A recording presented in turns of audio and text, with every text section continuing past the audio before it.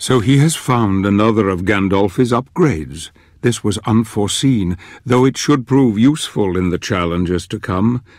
The lost city of Agharta looms before him. I wonder if you know what truly lies ahead for you, Gabriel, what God has in store for you.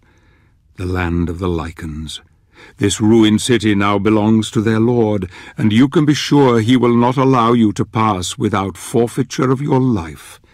But in order to bring her back, you need to defeat him, my friend. You need to crush him into the dust, like the worm that he is.